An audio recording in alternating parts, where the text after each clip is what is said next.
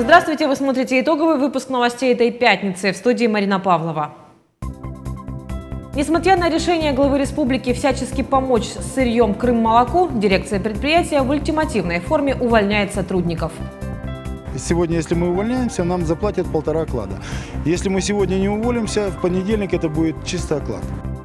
В Севастополе задержан серийный убийца женщин.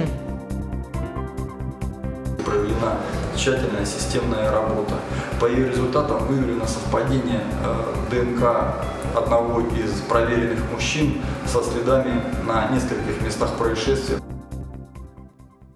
Несмотря на обещание крымского правительства восстановить деятельность предприятия «Крым-молоко», собственники производства отказываются поддерживать власть в этом вопросе. Отказываются и от сырьевой поддержки со стороны Минсельхоза Республики, а людям предлагают очень интересные условия увольнения, какие узнавал Егор Петрунин.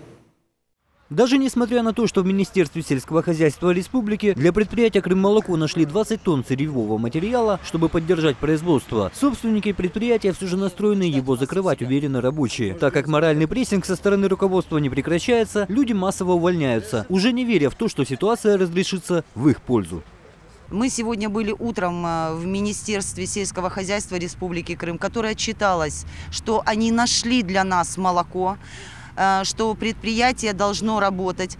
Э, глава нашей республики Сергей Валерьевич Аксенов распорядился, э, чтобы наше предприятие запустили и началось производство. Но за все это время наше руководство даже не позаботилась о том, чтобы связаться с э, Министерством сельского хозяйства и поинтересоваться, что для нас нашли продукцию.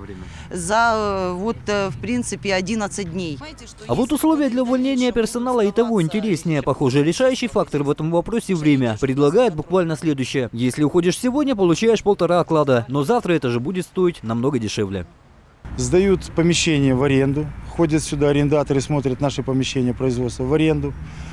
Сегодня наш руководитель собрал нас и сказал, что если мы не будем приходить на работу в 9 и уходить в 6 часов, нас уволят за, э, по статье за нарушение трудового порядка. И сказали, сегодня последний срок. Если мы сегодня не уволимся, сегодня, если мы увольняемся, нам заплатят полтора оклада. Если мы сегодня не уволимся, в понедельник это будет чистый оклад. А некоторых отдельных сотрудников делятся люди своими впечатлениями от действия руководства и вовсе словно стараются довести до ручки, не стесняясь при этом в выборе самых жестоких методов воздействия. Женщина проживала на территории Крым-молока в общежитии. Им просто взяли, выключили свет и, и говорят, мы вам включим свет только когда вы подпишете увольнительную свою. К настоящему моменту инициативная группа сотрудников предприятия ждет, пока с ними свяжутся представители Минсельхоз Крымской Республики, которые обещали максимальную поддержку и содействие тому, чтобы крымский производитель остался на крымской земле. Там даже составили и передали в прокуратуру Крыма официальный документ, гласящий о том, что предприятия хотят закрыть намеренно. Но, как считают сами люди, надежды на то, что Крым-молоко заработает снова, с каждым часом остается все меньше. Егор Петрунин, Юрий Земной, служба новостей ТВ. Сотрудники Следственного управления Следственного комитета по Севастополю раскрыли серию убийств женщин, совершенных с 2009 по 2015 годы на территории Нахимовского, Ленинского и Гагаринского районов города-героя. Им оказался 35-летний мужчина, работник строительной сферы, семьянин, воспитывающий двоих несовершеннолетних детей. К уголовной ответственности не привлекался. Почерк один: 60-летняя пенсионерка, 20-летняя студентка и 37-летняя женщина были задушены поздним вечером вечером. Первое было совершено еще в январе 2009 года. Чтобы раскрыть преступление, специалисты заново провели исследование с применением новейших методов и использованием криминалистической техники, которой ранее в Севастополе не было. Для установления преступниками сотрудниками Следственного управления совместно с экспертами Главного управления криминалистики проведена тщательная системная работа. По ее результатам выявлено совпадение э, ДНК одного из проверенных мужчин со следами на нескольких местах происшествия по уголовным делам об убийствах. 21 января этого года при содействии сотрудников спецподразделения ОМОН «Беркут» и уголовного розыска УМВД России по Севастополю подозреваемый был задержан. Он будет проверен на причастность к совершению других аналогичных преступлений. Двое бывших сотрудников полиции, признанные виновными в превышении должностных полномочий. Следственный комитет Российской Федерации по Республике Крым собрал доказательства, которые признаны судом достаточными для вынесения обвинительного приговора Константину Прудникову и Валерию Ложкину. 26 июня 2014 года сотрудники полиции проводили оперативные мероприятия по установлению лиц, причастных к совершению убийства местной жительницы. Применили физическое насилие к двум мужчинам, тем самым нарушив их права и законные интересы. В итоге суд назначил Прудникову и Ложкину наказание в виде трех лет лишения свободы с отбыванием в колонии общего режима, которое применено условно, лишением права занимать определенные должности или заниматься определенной деятельностью сроком на три года. А потерпевшие получат за причиненный моральный вред сумму в 40 тысяч рублей с каждого подсудимого. Общественная палата Крымской Республики провела расширенное заседание, главной темой которого стал вопрос предстоящего сноса здания Крымского академического театра кукол. По результатам обсуждения крымские общественники пришли к выводу о необходимости создания поста общественного контроля за этим процессом, о чем еще говорилось на заседании в нашем следующем видеоматериале. В конце 2015-го решение Комитета имущественных и земельных отношений о сносе здания Крымского академического театра кукол вызвало немалый общественный резонанс. Широко обсуждаемым остается этот вопрос и сегодня. Именно поэтому он стал первым на повестке дня расширенного заседания Общественной палаты республики. По результатам проведенного осмотра и совещания, которое мы там провели, сделан вывод, что нынешнее здание Крымского театра кукол находится в аварийном состоянии, строительство нового здание, которое планирует назвать Крымский государственный центр детского театрального искусства, э, необходимо. И э, строительство это рассчитано на три года и будет профинансирование из средств федеральной целевой программы. На период строительства нового здания коллектив театра разместится в помещении Крымского академического русского драматического театра имени Горького. Контролировать снос и будущее строительство необходимо, пришли к выводу члены Общественной палаты Крыма, так как многие подобные проекты уже не раз перерастали в заброшенный долгострой, что в центре крымской столицы сегодня попросту неприемлемо. Еще один вопрос, требующий участия со стороны общественности, готовящийся законопроект по экономическим отношениям населения Крыма с украинскими банками, который также стал темой весьма резонансной. Условиях экономической, транспортной, продовольственной энергетической блокады Республики Крым принятие закона, который фактически легализует деятельность украинских банковских учреждений, направленную на возвращение кредитных средств, при категорическом отказе с их стороны возмещения депозитов, размещенных в данных учреждениях, приводит к предсказуемой крайне негативной реакции со стороны населения. Даже в том случае, когда граждане Крымского полуострова будут вынуждены вернуть долги своим украинским кредиторам, отметил председатель Общественной палаты республики, первое самое главное, что должно быть соблюдено при этом, элементарные права человека. В частности, добавил Григорий Йофа, необходимо сразу же исключить возможность возврата недвижимого имущества, оформленного по ипотечным кредитам. Егор Петрунин, служба новостей ТВ. Во второй части выпуска не пропустите. Буква закона соблюдена, по договору газ в частном доме появится до конца мая. А вот если разобраться по совести, почему семья пенсионеров должна жить зимой в нечеловеческих условиях? хотя бы до конца бы вот сделали бы нам до этого, до, до как и в январе хотя бы до конца бы сделали. Аэропорт Симферополь отмечает 80-летие. Тепло оплачено, но не получено. В доме у пенсионеров в селе Пионерское Симферопольского района холоднее, чем на улице. В таком положении семья Демченко оказалась после того, как решила провести газ. Работы начаты, но не закончены. Теперь пенсионеры мерзнут в собственном доме. Единственным источником тепла в доме инвалида второй группы вот этот обогреватель. Днем пенсионеры включают его на кухне, чтобы приготовить кушать, а вечером уносят в спальню. Тяжелее всего приходилось в период блэкаута. Никак, света нету, значит никак. Раньше дом топили углем. Накопить на голубое топливо удалось после того, как стали получать российские пенсии. Старый котел выбросили, купили новый, газовый. Все вроде бы хорошо, но только долгожданное тепло так до сих пор и не пришло. Газовщики, значит, приехали, сделали э, отворот вокруг дома и внутреннюю проводку. Вот эти вот поставили краны для котла и для колонки. Колонку вот. и вот И подсоединили вот этот блестящие шланги. Почему остановилась работа, Николай Владимирович не знает. Неоднократно обращался к Крымгазсети, но там по непонятным причинам отправляли то к одному специалисту, то к другому. Тогда он решил написать главе республики Сергею Аксенову. Там письмо получили, обещали рассмотреть его жалобу, но только через месяц. Однако пенсионеры бьют тревогу, крещенские морозы без отопления не переживут. Я не знаю, я не знаю. Вот дай бог, если бы хотя бы до конца бы вот сделали бы нам до этого, до, до как и в январе хотя бы до конца бы сделали. Супруга Николая Владимировича не может сдержать слез. В доме только сделали ремонт, наклеили обои, отремонтировали потолок. Но старания пенсионеров сведено к нулю. От сырости отклеились обои, плесень разъела стены. В сложившейся ситуации у инвалидов второй группы все, что есть в аптечке, пошло в ход. Болеют они теперь чаще. Здесь все, все обои, видите, какие все мокрые-мокрые. Вот этой шваброй я снимаю всю плесень. Вот так вот. Видите, вот. Всю плесень снимаю. Семья Демченко завистливо смотрит в дома соседей. Они заявку на подключение газа подали позже, но им голубое топливо провели раньше. Пенсионеры уверяют, у них все отплачено. Обещали, работы должны были закончить еще в декабре. Вот здесь заканчивается труба, и вот это ихняя работа, они должны э, до он той основной трубы довести. Вот. У нас все уплочено, так что вот, вот эта проблема вся вот в этом вот. Вот в куске в этом проблема вся.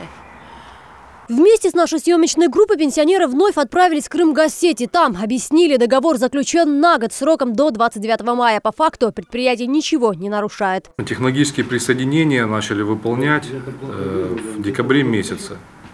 Так как вы понимаете, у нас количество потребителей за 160 тысяч абонентов и, соответственно, обращений в течение года было масса. Поэтому сейчас планомерно мы отрабатываем все заявления, которые к нам поступали, договорные обязательства свои выполняем.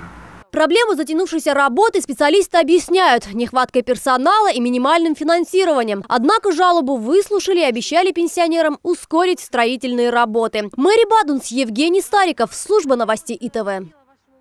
Душ в необычном месте. Крыша в доме на улице Кондрашина в поселке Октябрьский Красногвардейского района протекает вот уже несколько лет. Жильцы стали бить тревогу, когда вода стала просачиваться в электрощитки. Обращались к коммунальщикам, но проблему так и не устранили. Тогда жители решили написать коллективное письмо журналистам с просьбой вмешаться в ситуацию. Проходите в мою комнату. Ничейную, потому что не живем в этой комнате. В таких условиях жить невозможно квартире у Лидии Тимофеевны эту дверь редко кто открывает. Оно и понятно, объясняет хозяйка. Сырая комната, отвалившийся потолок и стены в плесени. Протекает крыша на улице Кондрашина уже 20 лет. Жильцы устали бороться с бездействием властей. Контрастный душ в период ухудшения погодных условий стал для них чуть ли не нормой. И таких реалиях вынуждены жить 18 квартир. Я ходила в наше ООО, говорю, вы хоть залезьте, покажите, где перекрывать, где нахать. Может, я, говорю, своими силами уже буду делать. Потому что вы не сделаете, там очень плохая крыша. Приспособилась, в каком месте она уже таким сильно обильным таким льет, и я уже ставлю эти чашки. Вот так вот бывает, вот столько воды сразу натекает. Наталья Калмыкова свет в доме не включает, боится. Женщина опасается пожара, в квартире постоянно летают искры. Я только включаю, подхожу, оно все вот таким хлопками. Если бы я не, ну, как бы дома не была бы, где-то отошла бы или ушла в поселок, оно бы просто пожар был, и все. И у каждого в доме аналогичная история. Жильцы обращались в управляющую компанию, писали главе республики, министру ЖКХ. Тогда крышу отремонтировали, но частично. С 97 -го года все, во все организации пишу, чтобы нам перекрыли крышу. А они просто наносят латки. Эту крышу невозможно просто латками обойтись. Крышу надо сделать нормальную. Мы же просили, просили, что сделайте нам нормальное покрытие. Мы обратились в управляющую компанию, которая обслуживает дом на улице Кондрашина. Там о проблеме знают, обещали в апреле этого года капитально отремонтировать кровлю. Почему работы не проводились раньше, объясняют так. Этот дом был в прошлом году передан на капитальный ремонт. И он вошел в список капитальных ремонтов по этому году. Единственное, они не успели провести тендеры. Но подрядчик уже выбран, тендер проведен, и с апреля месяца сейчас к этому дому будут делать капитальный ремонт. Информировать население о том, что кровлю отремонтируют уже в апреле, управляющая компания не соизволила. Жильцы вынуждены отбивать пороги разных инстанций и писать средства массовой информации. Мэри Бадунс, Юрий Земной, служба новостей ИТВ, Красногвардейский район. Геннадий Бахарев, полученное в ведение муниципалитета имущество Крымпотребсоюза, передал МУПу «Метроград». Акт передачи подписали на этой неделе. Тифук Гафаров встретился с коллективами симферопольских рынков на Куйбышевском. Руководитель остался тот же, на Центральном назначили временно управляющего. Коллектив при переходе сохранили в полном составе.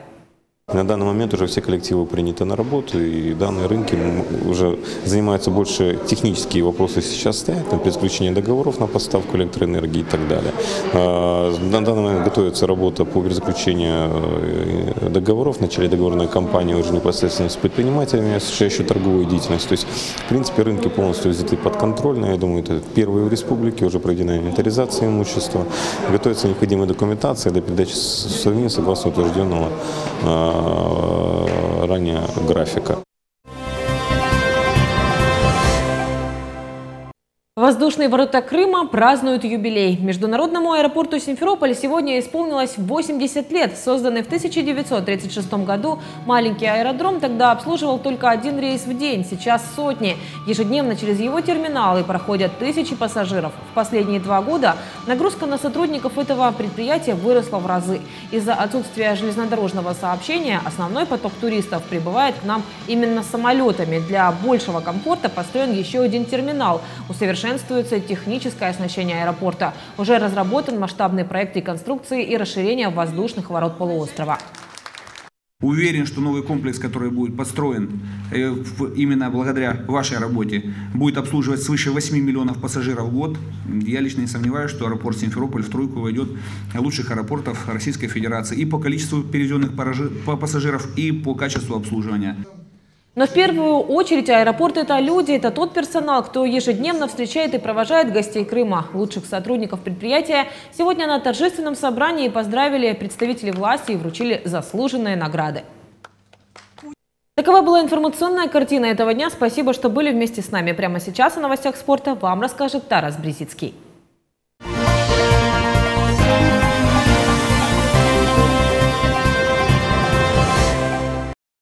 В Симферополе стартовал чемпионат города по боксу среди 15 и 16-летних спортсменов. Соревнование будет длиться два дня, а уже в первый в ринг вышло более полусотни участников. Это золотой фонд. Ребят 2000-2001 года, да? Это уже видно боксеры, которые уже сформировались. И у них есть будущее. Чемпионат города стал для местных боксеров открытием сезона. В турнире поучаствовали не только столичные спортсмены, но также представители Севастополя, Ялты, Феодосии, Красноперекопска, Судака и других регионов. Соревнования организаторы уже по традиции приурочили к памяти ветеранов крымского бокса. На этот раз чемпионат проходит как мемориал Виктора Чернонога, Николая Синдецкого и Михаила Кораблева. На стене стенд с фотографиями. Каждый из молодых спортсменов может познакомиться с историей бокса. Также в зале родственники легенд местного спорта. Также по традиции. Это боксеры послевоенного времени э, ну, наиболее, как говорится, успеху добился из них Черноног. Он был призером чемпионата Советского Союза, победителем турнира на Всемирном э, фестивале молодежи студентов в Бухаресте и двукратным чемпионом России, и двукратным чемпионом Украины. Ну и являлся членом сборной команды Советского Союза. Первыми вышли на ринг представители весовой категории 42 килограмма. Это Талят Аметов из Сакского района и Энвер Канашкин из Судака. Со стартовым волнением лучше справился Аметов. Впрочем, победитель еще до боя четко знал, как нужно действовать, чтобы выиграть. Я старался, чтобы у меня э, держать технику, чтобы как бы бить, бить правильно, двигаться на ногах правильно, чтобы наносить быстрые жесткие удары. Выиграл и Марлен Гостев из Нижнегорска. У севастопольца Руслана Мартыненко уже в стартовом поединке его фаворит думал о финале, что не помешало одержать уверенную победу. Соперник Гостева даже побывал на помосте. Однако выиграть Марлену удалось по очкам 3-0. На очереди финал. Бой проходил очень тяжело э, в связи с тем, что дыхание подвело. Вот э, выиграл благодаря опыту, я бы сказал, смекалки, как бы, подсказкам тренера. Мне помог лично опыт. У меня все бои где-то проходили с такими соперниками, поэтому ну, я знаю, как с ними работать. А тяжело провел бой, ну, дыхание подвело, не был готов к такому бою. Финальные поединки открытого чемпионата Симферополя пройдут в субботу 23 января. А уже в следующем месяце сильнейших боксеров этого возраста ожидает участие в первенстве Крымского федерального округа.